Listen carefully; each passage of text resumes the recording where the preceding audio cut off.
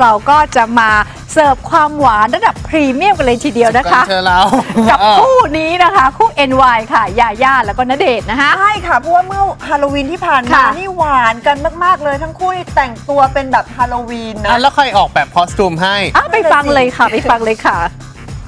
น่ากลัวจะตาย น่ากลัวจะตาย ถ้าไม่ได้รู้จักกันแล้วเดินผ่านก็กลัวนะคะหกโมง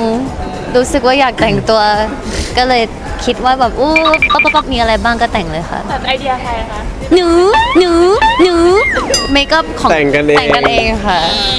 สรุปว่าผมใช้เวลานานหนูว่าแต่งแค่ประมาณ5นาทีค่ะ พี่นะเดชน์ใช้เวลาเกือบชั่วโมงชั่วโมงหนึ่ง อาจจะแบบไม่มั่นใจว่าเอ้ยมันต้องดูน่ากลัวต้องดูเหมือนเหมือนคนแบบเออเป็นเป็นศพอะไรแบบว่าเป็นผีอะไรอย่างเงี้ย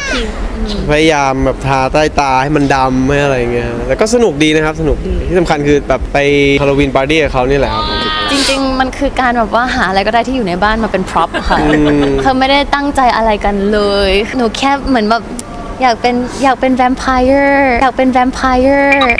คือโดนกัดมาแล้วแล้วพี่เขาแต่งเสร็จหลังจากหนูเขาเป็นผีลุงผีลุงผีลุงแก่หัวงอกผีลุงแก่หัวงอก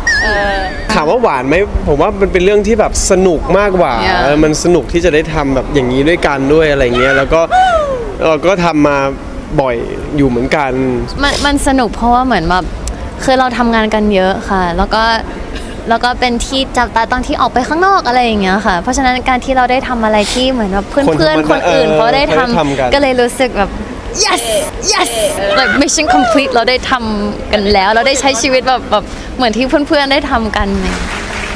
ปกติแต่งเป็นผีนะคะคุณจะกลัวดูน่ากลัวนะ แต่คู่นี้แต่งเป็นผีแล้วก็ยังดูจิ้นนะคะ ดูจิ้นน่ารักใช่ไหมอะ